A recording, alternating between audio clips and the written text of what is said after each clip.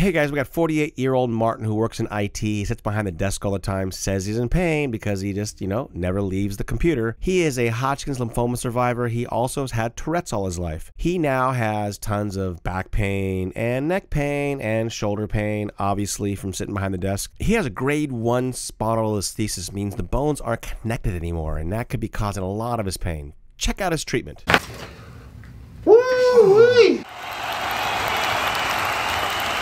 Uh, my name is Martin. I am 48, going on 49 this year. So uh, I'm an IT professional, so I do a lot of work sitting down. Originally, just mainly because you know joints are hurting, but lower back too. Uh, I've tried different chiropractic in the past. It you know, immediate relief, but nothing long term. So I've read, you know, from what I've seen now of looking you up, it seems like you you work on long term. After COVID, my it seemed to make the kind of like arthritis flare up more. So Gotcha. I've got more soft tissue damage. It feels like, but just more pain, which then translates to my shoulder hurting because of the way I'm holding my arms. So go, how'd you sleep? Off and on, I flip around a lot. For his whole I life, he said? Don't have a good like straight eight hours ever. What about your left knee? Yeah, that one. will You can hear that sometimes when I go upstairs and down. It's always weak ankles most of my life. So that, that's just like you know, walking, ankle can give out. Tourette's. Talk about that. You've had that your whole life, or Yeah, born. Yeah, I'm basically born with it. Just neurological disorder uh, causes motor movements, sounds, and does get lighter the older you get. is that what it is? I was going to ask you. Yes, it Has, does. has, has it changed over the years? Yes, it, it, it's usually they could grade you on a one to ten scale, but you it slowly goes down as Yeah. you get older. Interested and excited in getting to start the program. I know it's gonna not be enjoyable at first, but that's understandable. Hodgkin lymphoma survivor. Yes. Sure. All right. That's about as far as I'll go So there. Tell us about your leg pain and your back pain. Tell us numbers All on that. Um, like I said, the the can feel the muscles very tight right there, so that's around a five. Back probably more like a three because it's Gotcha. it's noticeable, but my number's probably also low because I'm used to it. So Well, we talk about that all the time. Very, very, very observant.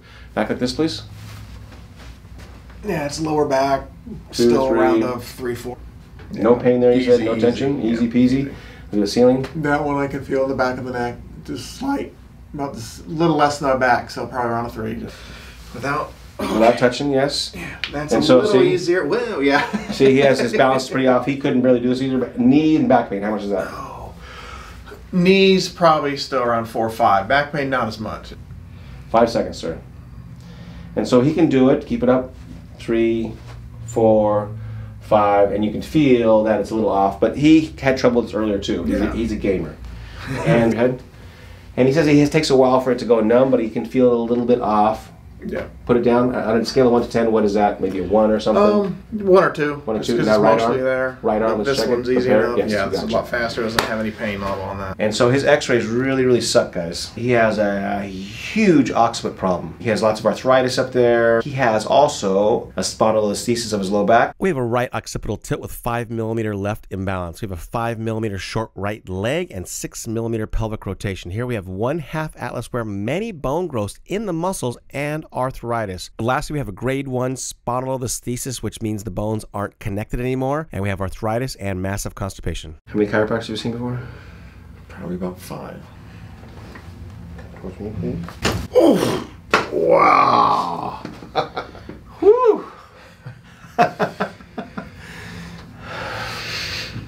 Just like all the other chiropractors, mm. right? Yeah. a little more. Yeah, I'm just going right through the middle of his neck, guys. Right around through his arthritis right here.